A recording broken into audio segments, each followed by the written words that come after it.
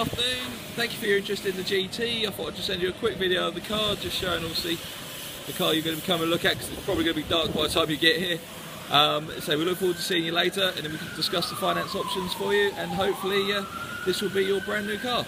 I look forward to seeing you. Cheers, bye bye.